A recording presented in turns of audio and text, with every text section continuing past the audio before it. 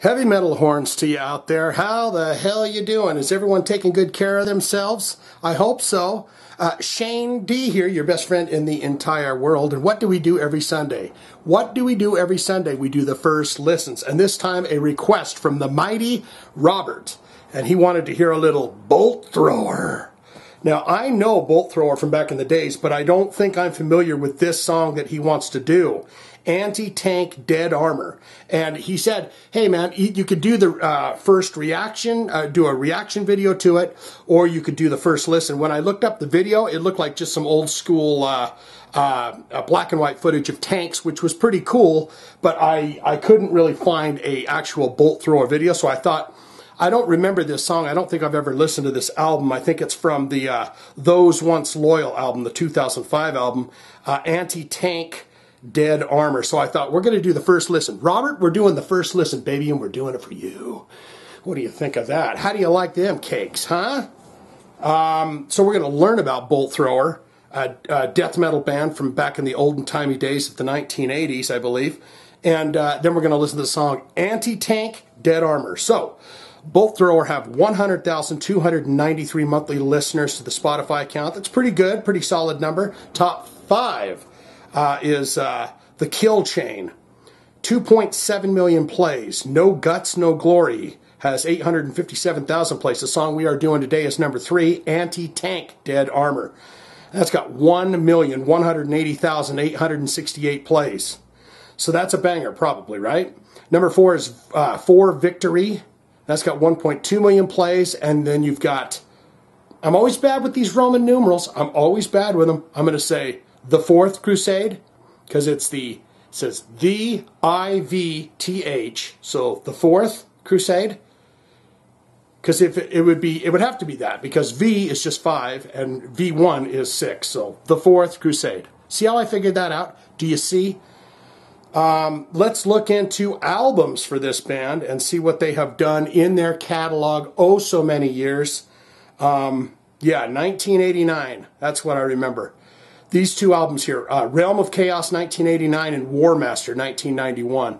It looks like they've done a full dy- 1991 War Master is a full dynamic what? Range edition, full dynamic range edition, and then the regular version. Then 1992's The Fourth Crusade, uh, 1994 For Victory, uh, 1998 Mercenary, uh, 1998 Who Dare Who Dares Wins. Honor, Valor, Pride 2001. Uh, the album I believe this song is from, Those Once Loyal 2005. Then there is a Live War 2010 album and the Earache Peel Sessions uh, in 2015. So these guys, if it's the Peel Sessions, I'm going to go ahead and say they're probably English, right? Because uh, uh, uh, Peel, what's his name? John Peel? I could be wrong, but he was the guy that basically gave Napalm Death a career he was playing that stuff on his little radio show in England, I believe. But we'll find out or we won't, one way or another. Let's look into related artists for this band. That always gives us a heads up on, on what's going on. Uh huh, yes. Malevolent Creation, Deicide.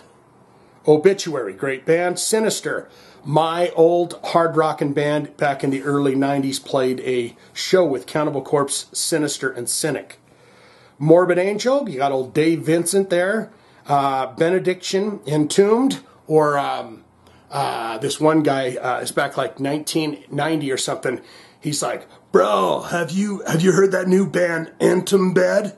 They're crazy, man. They're good. Entombed. Um, the band Grave. Autopsy, yes. Unleashed. There's that uh, Swedish band that I met once. Want some hanging once crimson? Oh, sure, sure. Uh, Gorefest and Pestilence. Yes, I remember me some Pestilence. What album do I remember from Pestilence so well? It's it's got to be one of the earlys. It's got to be one of the early ones. Um, maybe we're gonna have to do some Pestilence because none of these are ringing a bell with me. But I know I've heard some Pestilence before. Huh. Well, I'll be damned. Let's look into the bio for the band and uh, and see what happens. I'm going to have to find an image of the band because it's just a dude and he's very muscular and he's got a mohawk and it's black and white and he's playing a guitar that doesn't have a head on it or whatever you call it, the tuning peg portions. And it does not look very metal, so I'm going to have to find an image of the band. Hollands. Oh, Jesus, you guys, you're just going to want to spank my bear hiney because I was looking up Pestilence. I was looking up their bio. I'm ashamed of myself right now. So yeah, we've got uh, let's see, we got a dude just a screaming into the microphone. Looks like a live photo bolt thrower. It's a bolt thrower over the top, and he just screaming into the microphone. So we'll have to figure that one out too. Here we go. Uh, one of Britain. Aha. One of Britain's most consistent and enduring death metal bands, Birmingham's Bolt Thrower, has weathered the best and the worst of times in the extreme genres. History without uh, ever giving into the commercial temptations, or hardly even altering its sound. The fact that they were usually blessed with a steady lineup throughout much of their career no doubt contributed to the, the stability, and though they were rarely bestowed wild praise for their efforts, with most of their uh, competitors or contemporaries, either adopting other styles or long retired, Bolt Thrower has gradually established itself as one of the best death metal bands ever to emerge from England. Take that, sister child. Take that, honey cakes. So, Robert, let me let me introduce you to my nipples. You know, I know you want them. I know you like them. Uh, here it is, right here. This is the magic tit. It takes us into the world of uh, a bolt thrower and the song "Anti Tank Dead Armor." Death metal, one of the greatest death metal bands to ever come out of Birmingham, England. Are we are we to find that out? Let's do it now. Let's see what's up.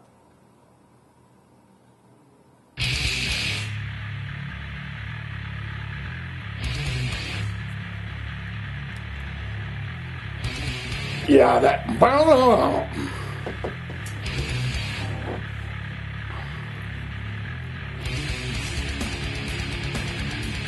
Oh, yeah.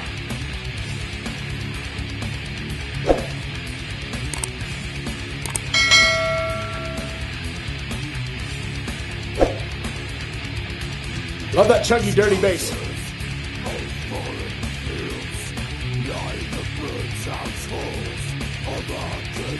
Flooding double bass. Grooving it, laying it out.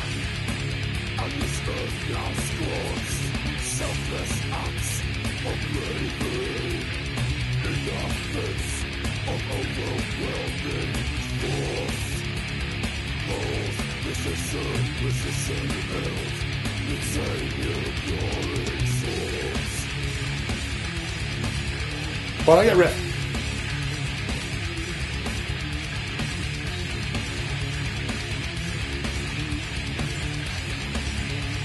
Yeah. Driving, thumping, pump. I see the tanks.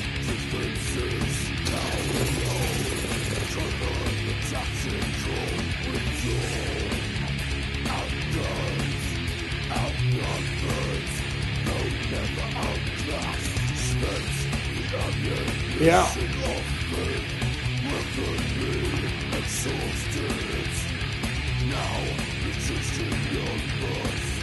This is just one solid mosh pit going on here.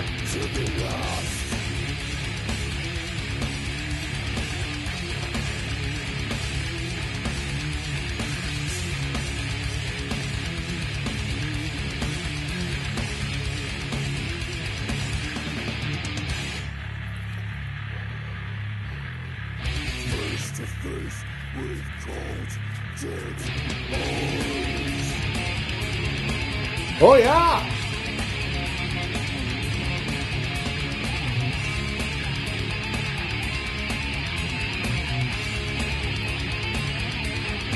Just hard driving.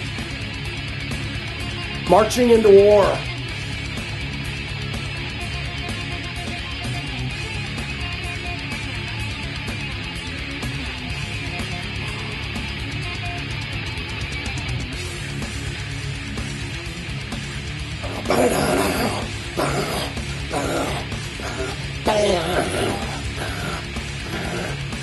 Yeah, drummer's just going for it. It's just said chugging bass.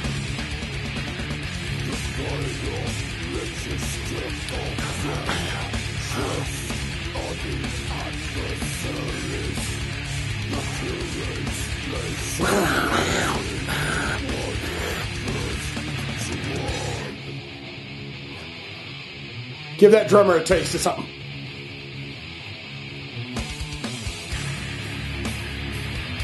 Halftime.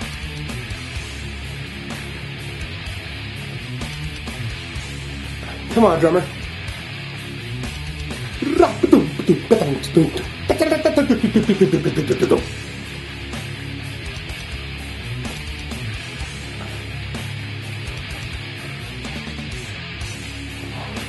Not, not, not, not a lot of solos, like flashy solos in death metal, right? Or am I wrong?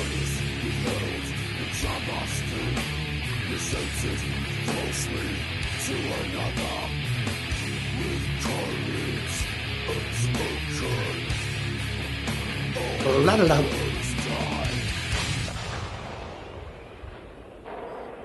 They fired a tank at the end. Pew.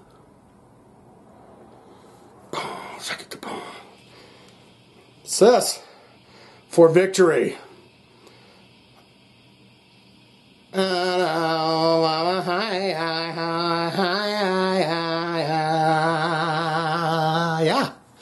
that wasn't that wasn't too shabby at all. That that's definitely uh, uh, when they talk about how they kept their roots the whole time. That sounds like that song could have been placed in 1989 perfectly. It could have been put on that first album. Uh, I like that. Uh, I'm a fan of some death metal. I like death metal. Uh, Deicide, I was a fan of Entombed. I was a fan of all, uh, a lot of that stuff back in the day. So, Robert, here's a thumbsy thumbsies for you. Uh, but this is the most important part of the video. This is where you get down there and you tell me stories about the past. This song reminded me of this because of this, Shane. Uh, this, I saw them live. Uh, this is my favorite album. This is my favorite song, and this is why. That's what this is for now. Is it good, great, fantastic? Yes, death metal me up, baby. Old school 80s, 90s death metal, thrash me hard, baby. Death me up, baby. Good. Or, uh, didn't care, don't want it, don't need it, don't like it, not my cup of tea, and I, uh, I thank you not to ever let me hear that again. All up to you at this point. Robert, thumbs up to you. Great job, bolt thrower. That's all I got. If you have a special, a uh, special hard rock, heavy metal, death metal uh, request, go to the link in the description below. That's all I got. Like, comment, subscribe, be my friend. Let's get the heck out of here. I'm sweating like a horse pig.